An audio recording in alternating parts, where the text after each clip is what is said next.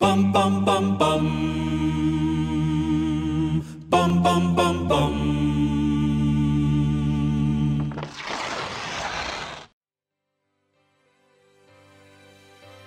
Hey, everybody. My name's Jeff. This is James, Scott, Jordan, and Andrew, and we are Veritas. Thanks for listening to Veritalks, and we have a wonderful special guest for you today. So, Jordan, tell us a little bit about who we got on with us today. Yeah, we have a just world-renowned uh, studio singer and arranger. His name is Tim Davis. He's worked on some incredible projects. He's done over 800 arrangements for Glee. He was known as like the guy Wow. for Glee. He's also currently working with Barbra Streisand, singing background vocals for her. He's working on uh, Celine Dion's vocals for her newest album. Uh, he's worked with Idina Menzel on her new Christmas album. Just Lady Gaga, crazy amounts of awesome stuff for you guys to to hear about. So we want you to tune in. James and I got to interview Tim, and it was awesome getting to talk to him. He's one of those guys that I have looked to as just a huge inspiration as a singer, as a person, as a arranger. Um, he is just so good at what he does, and he's a really humble guy. It was Yeah. amazing getting to talk to him. James and I got to do that. And James, you actually have, I've never met him um, other than our interview, but James, you met him in Nashville. He was doing a studio singing intensive, right? Yeah, so like something that he started recently was uh, a studio singer intensive for people who want to learn how to be better studio singers. And he came to Nashville and did one, and I got to go and be a part of that. It was an incredible experience, and we talk a lot about that on our interview today. And he's just a he's just a cool guy. You know, he's Yeah, funny. He's his like Jordan, you were mentioning his credits. His list of credits is miles long of the things that he's worked on but he's just so kind and humble and it really was an honor to get to talk to him you know That's awesome. I'm, I'm excited to hear the interview. Uh, so we hope you guys enjoy it. We're going to go ahead and jump in and let James and Andrew uh, take you on this interview with our friend Tim Davis. Yeah so, um, I had met a lady two weeks prior at a conference who I didn't know that she was a vocal contractor in LA, but she had asked me to call her when I got to town. And I did. And she hired me for the Spider Man movie, the first Spider Man movie, two weeks after we got there. And it just kind of picked up from there. You know, God was proving to me again you don't have to worry about it. Yeah. Like, do what I'm asking you to do, and Yeah. I will absolutely hook you up much better than any person could, or certainly yourself. Yeah. You know, So we wanted to, first of all, the you know we've are huge fans of all the things you've worked on and produced and sung on, and but James and I have nerded out pretty hardcore on a a certain thing that you have worked on, and I don't know that you Okay. You would guess what it is. It's the Mickey's Not So Scary Halloween show. It is Oh so good. It's so fun. James and Thank I have been in the car and have listened to that and just been like, this is awesome. i revisit it you. every six months or so Did I send Oh, that it's to you, James? fun. say that again Did I send that to you? fenton hammerly sent that to me Oh my gosh, Fenton. i uh i listen to it about every six months or so when i'm feeling really good about myself and i need to come down a couple of notches Oh my gosh. i just remember this is the standard that we Oh, it's so fun. Thank you. How long did Um, it take you to? Because you do every voice on that, Mhm, right? mhm. Yeah. How long did that take you to record? Um, we had moved to LA at that point, and Mark Hammond called me and said, um, "Hey, I have this thing, and I would love you to do it. Can you come to Nashville and do this with me?" So I was like, "Absolutely." So I flew in, went to his studio at 9 a.m., and finished at 3 a.m. What? So you did all of that in that, 18 hours? Uh, Do you know how But- freakish that is? well, I don't know. I mean, um, you know, Mark obviously had the track done, Yeah. and I did, you know, like where where the melodies would go and everything. But I I did the arranging as we went, and I just when when I get in that space of creating and arranging, I go so fast. I, I got Yeah. my mind. I my voice has to catch up with my mind. You know yeah Nice. um and i just love it and i i love challenging myself seeing how oh there needs to be another part above that oh even higher than that and i'm just like trying to trying to see if i can really actually squeeze out one more one more floor but um yeah it was it was what's the word? It was super exciting for me and to and to imagine that i would hear my voice at disneyland during the fireworks show i was like this is amazing. I can't wait to go home and take my son to the park and then Yeah. yeah. Is it still running at Disneyland? yeah. So I'm gonna i I'm gonna pivot here, and because you okay opened up about learning about the union and everything, and now you're you're starting to teach younger singers about the ins and outs of the industry and how to break into the industry. I know Andrew, you work with a lot of college students uh, in Mobile, right? Yeah.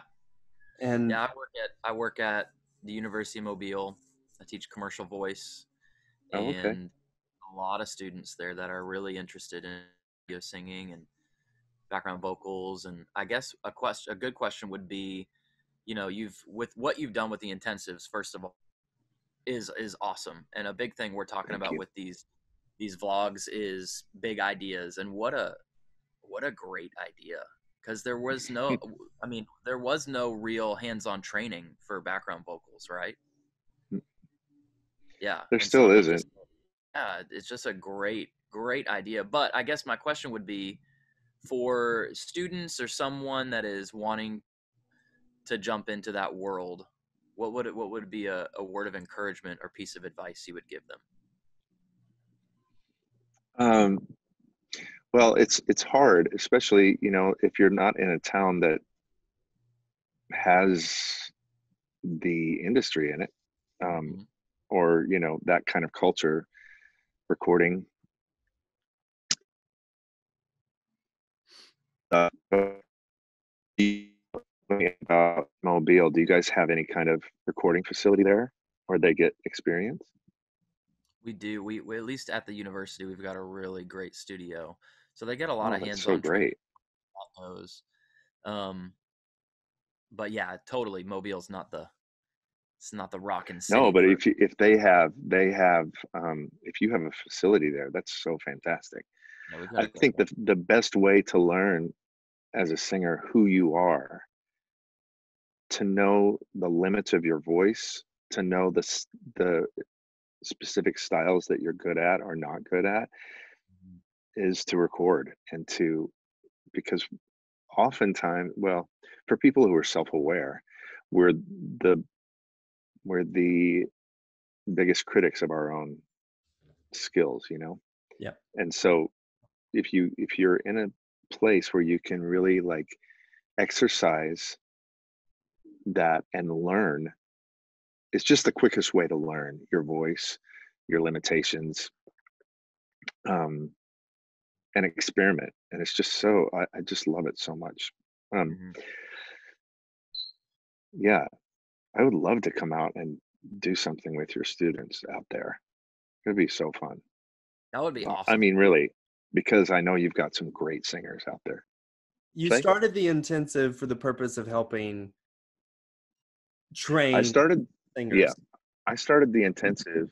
So when I first came to LA, I, I was kind of intimidated, pretty intimidated, because I was like, well, these are the big guns, you know. Mhm. Nashville's small town, but LA singers, whoa. Yeah. So I went to this session, but I remember it so clearly. The first session that I had, and I was surrounded by 39 other singers, some of whom I'm just, you know, it, it, they should not have been there.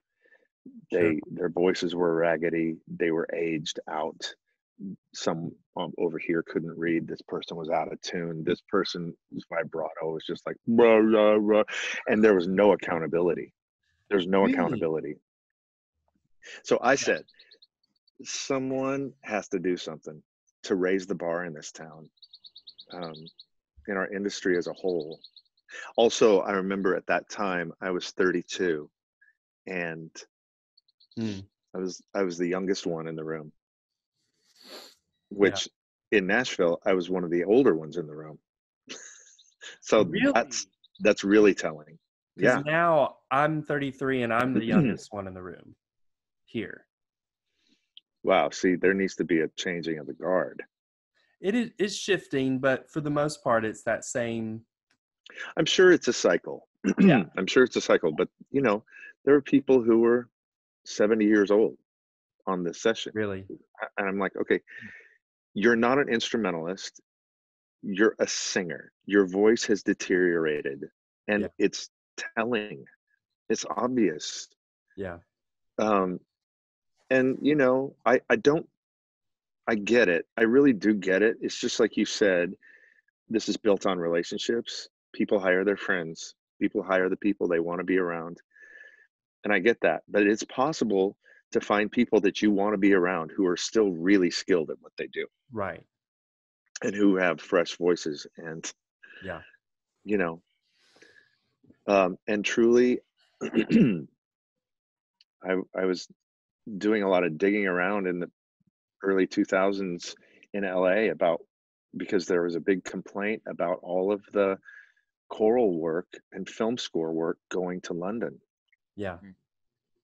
and I would have meetings with composers, big film composers, who would tell me it's not because of price.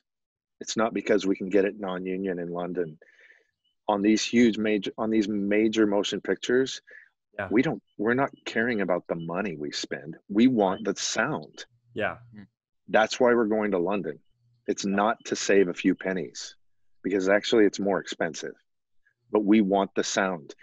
And you know, we see LA singers come in there. I was told this by probably three different composers, major composers who didn't want to upset anything politically. But They're like we we see these singers come in, they look like they don't care. They have scowls on their face. They're standing there like this, singing, ooh. Yeah. They don't care about my music. They don't they don't seem to have any respect Mm. for what this is or how much we're paying them or they're they act entitled. They look slovenly. They look like they just rolled out of bed and stumbled onto the session floor. I, I'm like, that's exactly what I thought, but I thought I was the only one who would feel that way yeah, or the only one who noticed. So um, I ended up um, just kind of like dreaming about what could I do to raise the bar. Well, when I started contracting, I actually I remember my first film score that I got. I sent out a an email to the singers that I was hiring with a dress code. nice. I said, please dress like a, a professional. This job with me is your interview for the next one with Yeah. me. Yeah, So act like you care. Act like you actually are grateful to be there. yeah, hmm. And I gotta say, it's really interesting. I've seen a shift, and I, you know, I see guys actually wearing a jacket. Some people come in ties. Ladies are looking nice. It, and it's not about you need to look a certain way. It's about showing respect yeah. to to the people that have gone before you and paved the way so that you could Right. ha- make a living Right. in this industry. It's such a privilege. Yeah, But people act so entitled. Like, I'm the best. I've been the best since I was a small child. I should have won American Idol, but I didn't. yeah, But now I'm going to sing on sessions and I'm going to lower myself to sing on sessions. I just want to, uh, I, get my gun. Yeah. As a card carrying member of the NRA, I Are you I'm not actually. I'm actually not. I'm not actually. I have one. I don't have a card for it, but I. Well, look at you. Have You pin. have to be protected, James. no. In my car. You never know when those booglers gonna come. Booglers. yeah. So Anyway. when you started, so you started the intensive. Like, did you get the response you wanted? Like, It was 2014. Yeah, I was shooting blind because there was no model for it. yeah, There was no prototype. I was creating it, and I just had no idea. So I, I'm kind of the I'm the kind of person who does everything like crazy big, like on a grand scale. Like I have this. If if it's not done with the most incredible thing, uh, then it's not worth doing. sure. So, and that um, puts most people, including me, into the poorhouse. I lost so much money on the first on the first one that I did. Actually, on the first two that I did, but then I kind of got a clue. But I did it at Sony Pictures. yeah, It was like twenty grand for the studio for, for two days. yeah, I was like, boy, I better make some money. And then I was like, well, I can't just give them little snacks. I'm not going to give them potato chips. So I got full catering for every meal, ev you know, each day.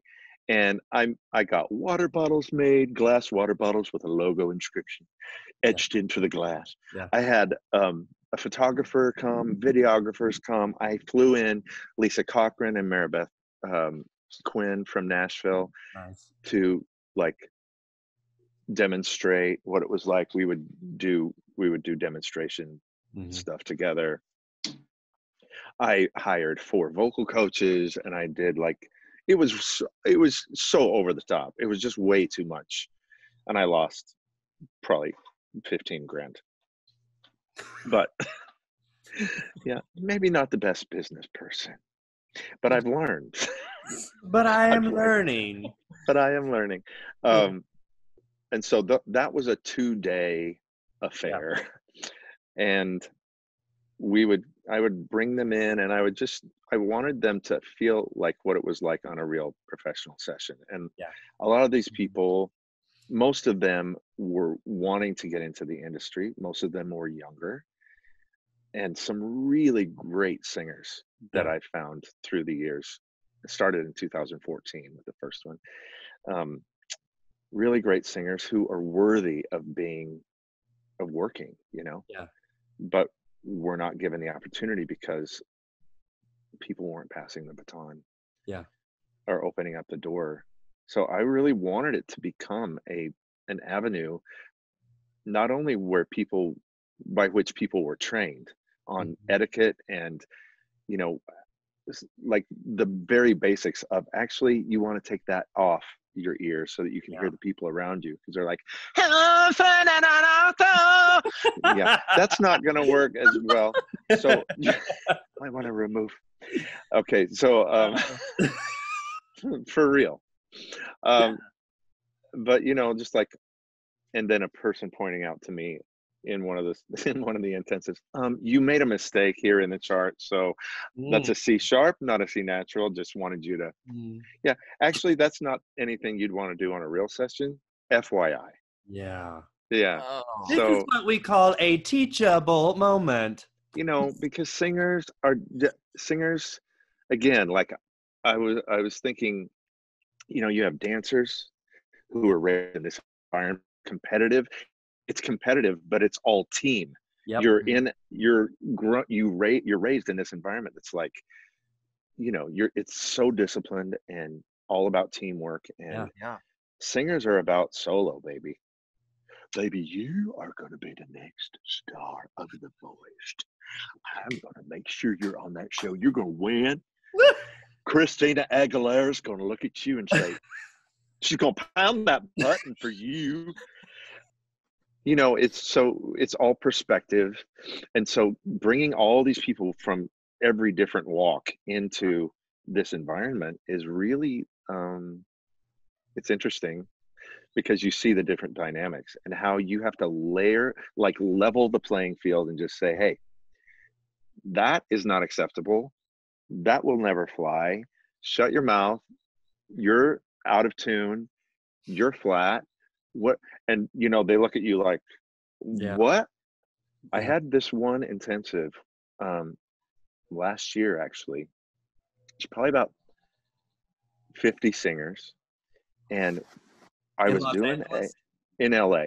Okay. And you know some great singers but i i was doing a gospel t- like a kirk franklin tune Mhm. that night and i had i had three microphones set up with baffles around them and i had one group here one group here one group here and it was a disaster Mm. some of the people were classical singers who were not self-aware enough to know this is not something i should do this is Sure. not something I should try. So I was like, okay, I'll take volunteers. Who whoever feels like this is your wheelhouse, go ahead and get up and get around the mic. Everyone rushes, rushes to the microphones. And I said, um, okay, so let's try it. And the the singers were around around the mic, and it was embarrassing.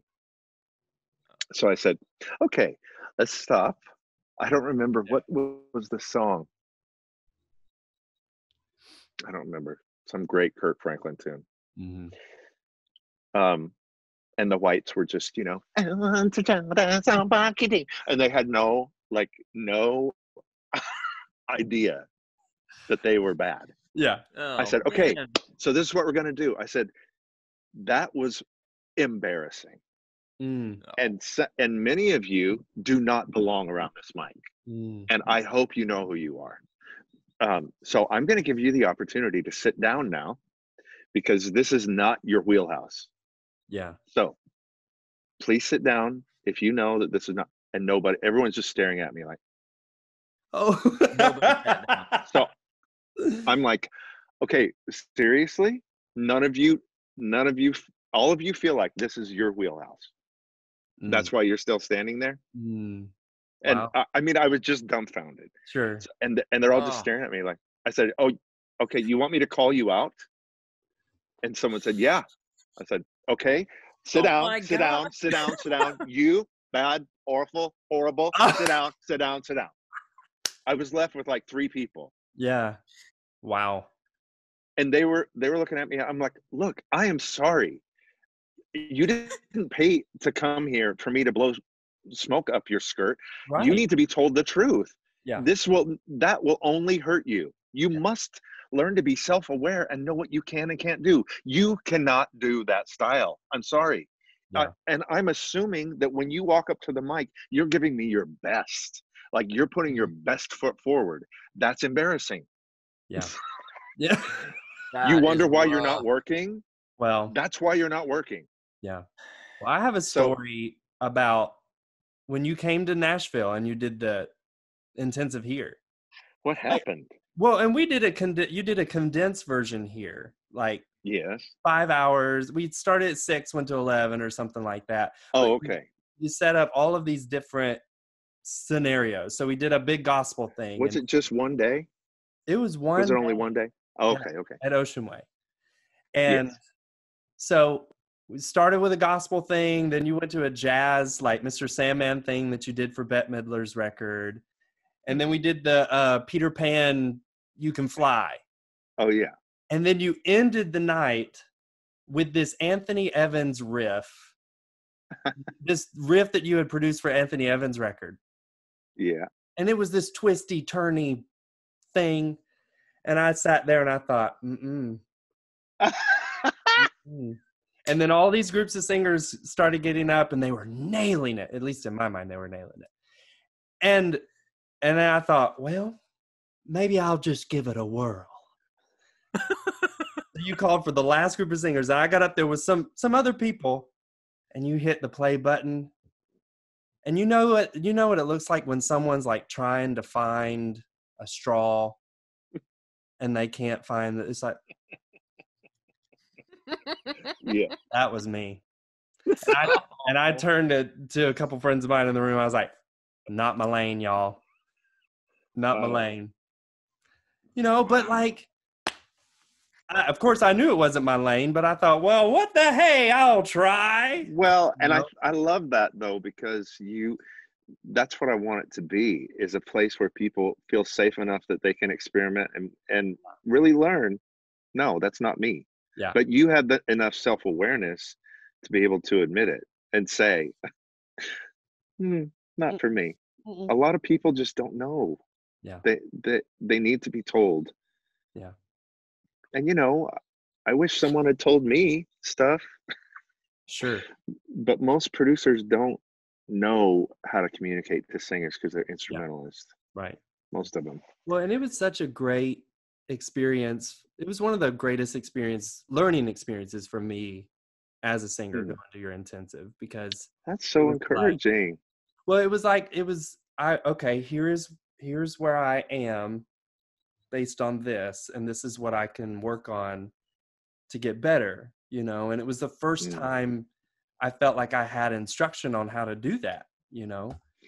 Um, because you're right. Mm. Most of the time when people get hired for sessions, you just get thrown into it and you learn it's trial by fire, you know. Yeah. And sometimes you get hired again and sometimes you don't, you know.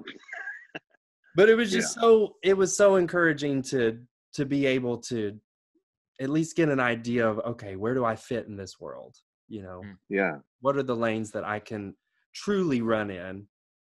And then also learning how, like, what is the demand for those lanes? You know, Mm. pop sessions are probably more in demand than classical or musical theater, you know, type sessions, depending on what city you're in and stuff. yeah that's true But anyway, that's true just some thoughts. i love that I, I love to hear that it's hard that was hard for me coming to nashville i was encouraged to, to do it by some friends but at the same time i felt like i don't want to appear like i'm some big shot coming back home to teach the little people you know? Because uh, nashville singers are incredible. They always have been. Yeah.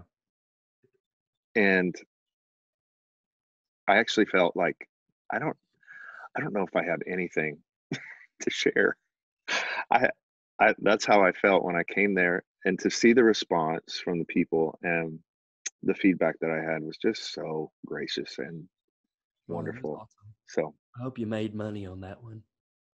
i didn't anyway oh, oh i was okay i'm sure it was fine but you didn't come to it andrew you didn't care about things I know. Oh, I would have loved it. Andrew's actually really, really good in the studio. i bet he is Like, I love I love singing in the studio. I do. you do Mm-hmm. what do y'all think of VoCTave have we talked about it VoCTave. love Octave. Love Man. Jamie in Ray. orlando yeah Jamey Ray such a great arranger what a talent Mhm. I do want to ask you a question because this is kind of where I am in my own journey, in my own as a singer and as a human being. Mhm. Um, you've accomplished so many things in your like your list of credentials is unbelievable to look at. You know, like it's intimidating. You know, Mm. but I celebrate that. We celebrate that for you because like it's um it's truly amazing, you know, and just want- remember just remember though that i was rejected by truth and i was rejected by the gaither vocal band were you really? yeah What part did you No. What part did you audition for? i knew i knew guy penrod and mark lowry Yeah. and david phelps. Um and it was that group when mark lowry was leaving Yeah. guy called me I, we had just moved to la and guy called me to come out and audition for bill. And so i sang with guy and david. Oh my gosh that was a dream. I'll never forget that unless i get the dementias. But it was it was really it was really wonderful. I so I think singers in particular, this is kind of going back to what you were saying about uh, knowing your lane and that sort of thing. I think singers in particular really struggle with being able to separate our self worth from the level of success that we achieve in our careers. I think Mhm. that part is part of the star mentality, the culture. You know, we live for the applause and at times and I, I don't it's something that I've struggled with and something that I'm still wading through, you know, how to on the days when my career seems to be more um, lackluster, how do I still maintain my sense of worthiness, you know, as a human for love and belonging, you know? Um, yeah, I don't know. I, I just when I talk to other singers here in town, I get I get the same kind of feedback, you know. I don't know. um, I think for me, it's been a journey for me as well, and I I think of two different. I, I'm thinking of two different things. Mainly, it used to bother. Well, we talked uh, earlier about fear. Yeah. Fear of the opinion of other people is such a trap. Yeah. So it's such a spirit over our industry. Um, and no one is exempt from it unless you're intentional about combating it.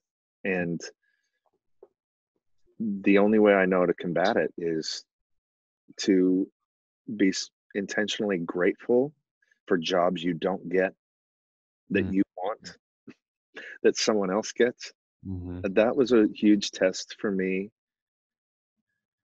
early on in Nashville. I remember when I was when I was starting to get into sessions and I was working a lot, I I wanted to be doing more records. And Michael Mellett was doing all the records. And that bothered me Yeah. because I I wanted that to be me. But I remember intentionally like thanking God every time I'd hear that he was doing a record that I wanted to do, I would say, Thank you that I'm not doing that because you you don't want me to do it. And Mm. I asked I would bless Michael, I would ask God to bless him. and um you know that was just one thing that i knew i had to do otherwise this whole like it's the spirit of fear it's the spirit of um uh it, and then it, it goes into when it seeps into you it can become bitterness Yeah. and resentment Yeah. and discouragement and just everything that's gross so i i just found that that really like nipped it in the bud for me like i and it wasn't anything that i truly felt but it was a decision that i would make and my feelings would follow Yeah. um so but then i also remember when i was working on glee i this was the most intense job i had ever had it Sure. was probably the best job i had ever had Mm. both monetarily and creatively i would uh, we were doing we did uh, uh, over 800 songs in the six years that we did it. And from every genre imaginable. And we were cutting we were cutting a master record every 10 days basically. So day after day after day i was being tested with creativity to come up with arrangements and ideas and stuff that you know it was it was beyond me. I i couldn't do it um certainly without god's help. Yeah. i but i remember becoming attached to that work. Yeah. i remember becoming attached to the title. Oh tim's the glee guy. Oh tim's Tim has the glee singers. Tim hires the glee singers. Oh, those are the glee singers. Those are Tim's singers. And I I got used to that Yeah. and I became known for it. And I remember God showed me a picture one day in the middle of that of of holding tight onto something. And he said, You have to let go of Mhm. this. Yeah. It's becoming a part of your identity and I and it will cripple you. I can't give you the next thing if your hands are like this. Mm. You've got to let go and have your hands like this because the kingdom of God is fluid. I, it's always moving. I'm not stuck here with you on glee. I'm out here on the Right. next thing that I have for you, on the next chapter that I have for you. So let go. Yeah. Let go of it. Stop identifying yourself as I'm the glee arranger. I'm the glee whatever. Sure. Stop it. Just be like this. Be grateful for this moment because it's going to be gone like that. And indeed Yeah. it was. Yeah. Um, and then I'm going to bring you the next thing. Keep your hands open.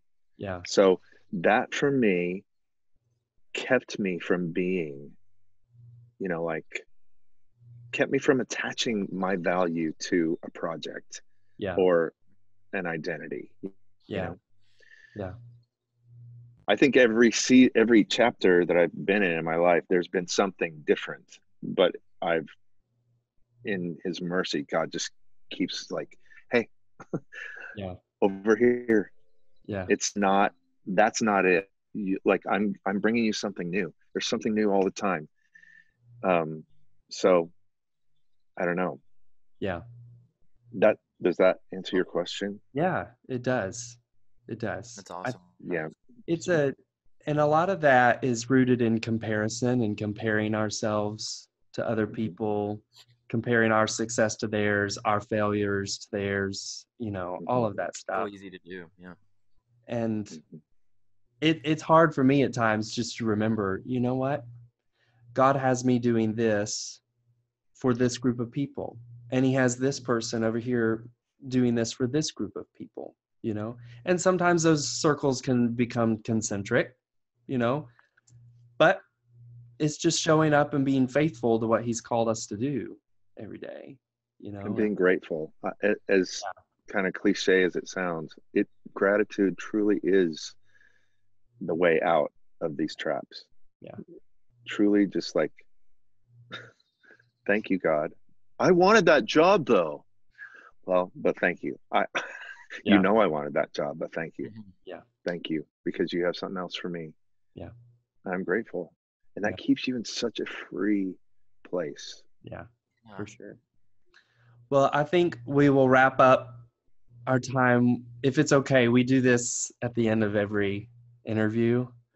what's which, By the way, we do a rapid fire kind okay of. i'm ready So Andrew's going to do the first five. I'll do the last five. okay All right. All right, here we go. Rapid fire questions. So, first, what is your favorite meal? my wife's meatloaf Mm. oh Good answer. Yeah. I, I just love food, so that's a hard one for me. But my wife's meatloaf and Houston's ribeye.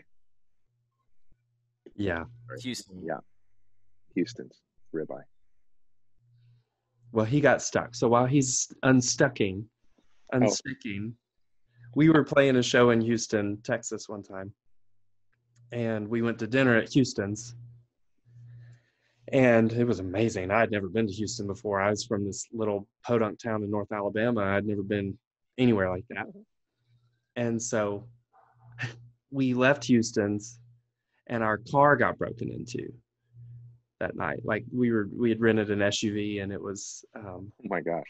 Yeah. At Houston's, it got broken into. uh, and all of our stuff was stolen. My backpack was stolen with my sh- with my dress shoes in them. My in ears were stolen. Oh my god! my computer, everything.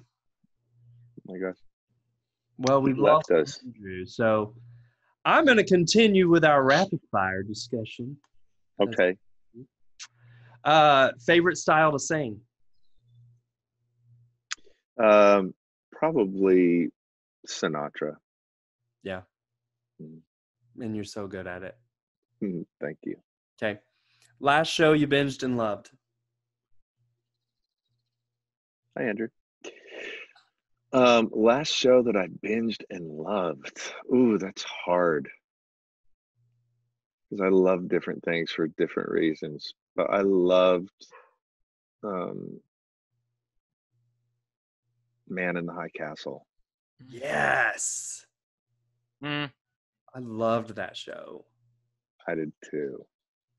uh, let's see. A concert you'll never forget. I mean, I guess it was my first concert, which was probably 1985. um, the Manhattan Transfer at the Greek Mm. Theater in Phoenix in the round.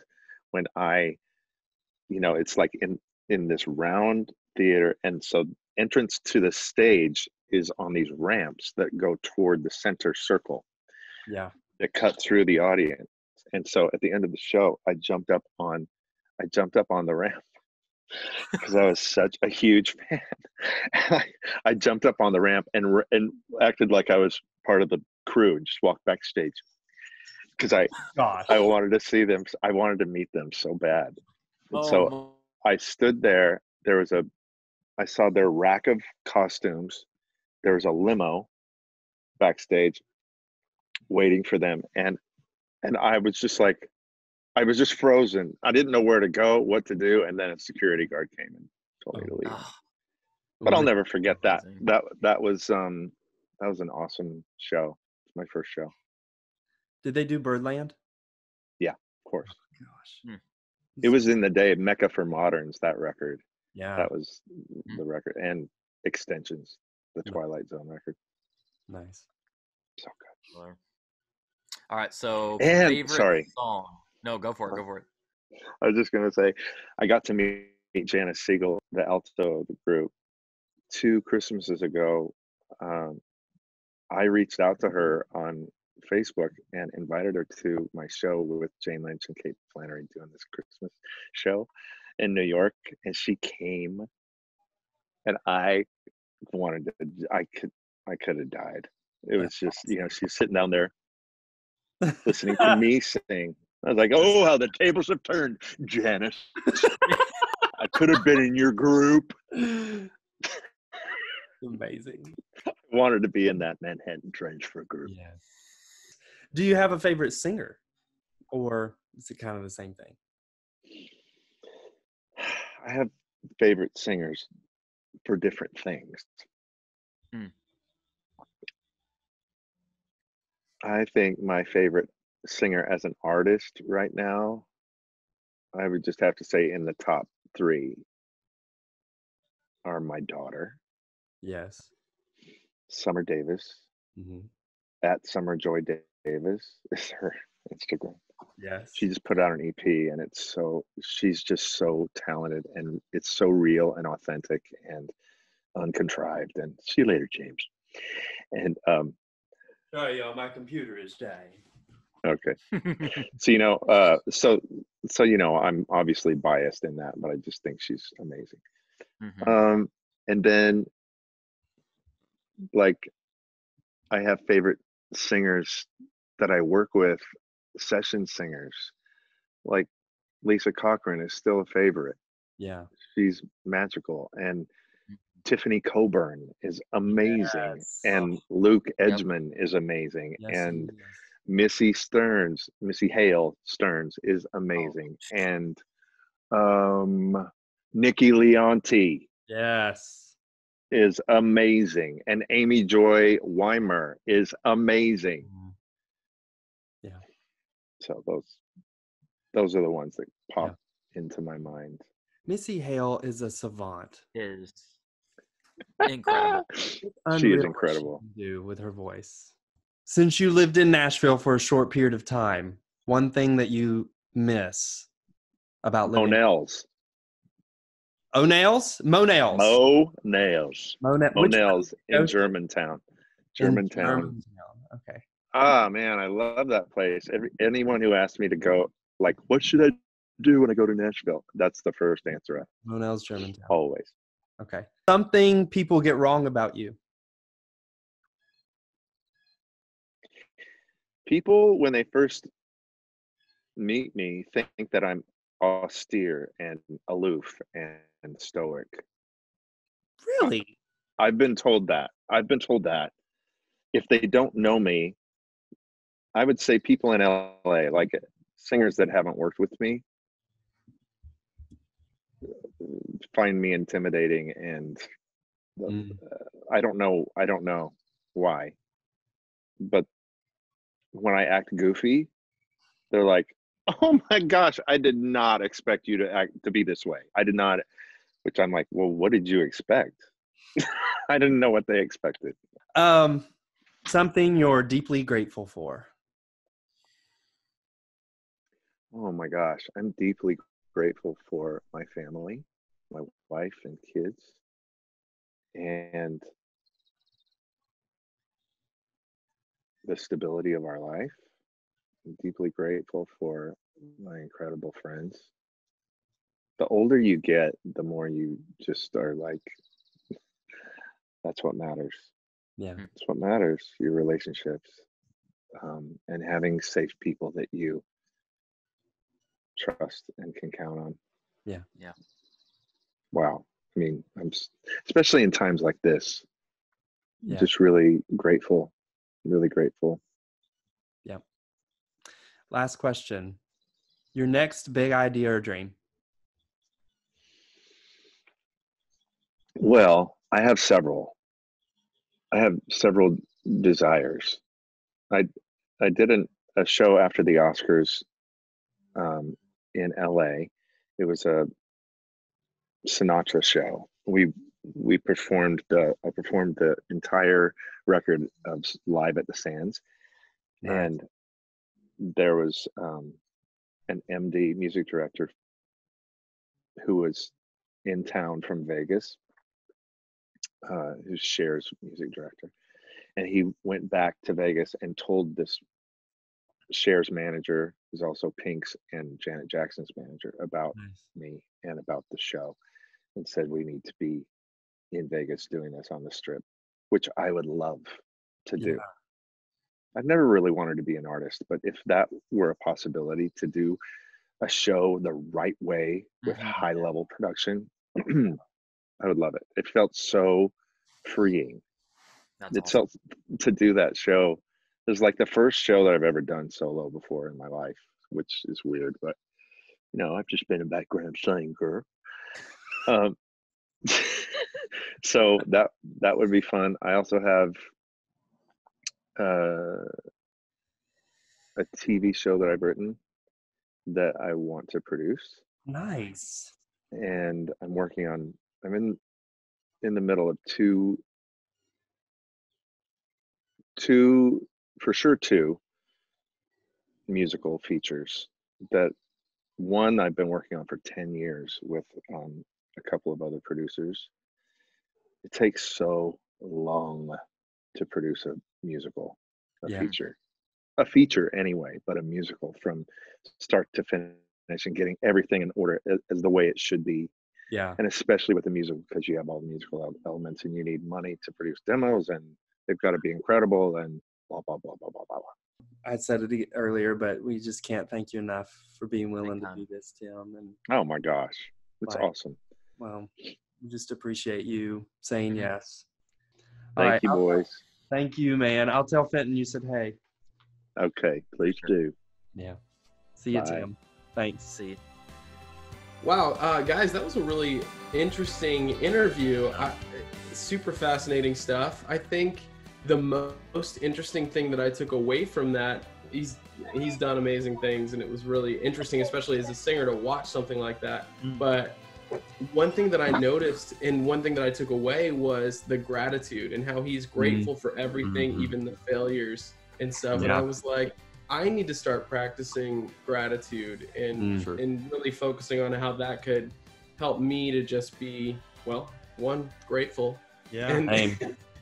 and two just staying positive in this tricky tricky field that we Mhm. work in as Yeah. as musicians and singers and And Yeah, so that positivity was- helps with those big ideas. That's why it's, it's pretty awesome to be there in that mindset. Yeah, it was such a great interview, uh, and I love seeing all that he is doing, all that he has done, and I have have a feeling that we've got many more big ideas coming from Tim Davis uh, down the road. But if you guys want some more interviews like this, be sure to subscribe to our channel.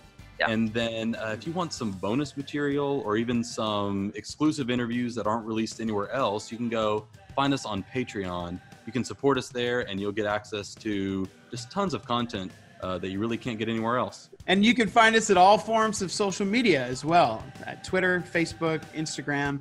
And we want you to find us there at Veritas5. So we want to say thank you for joining us today, this week on VeriTalks, and we hope to see you next week. So here's to your next big idea.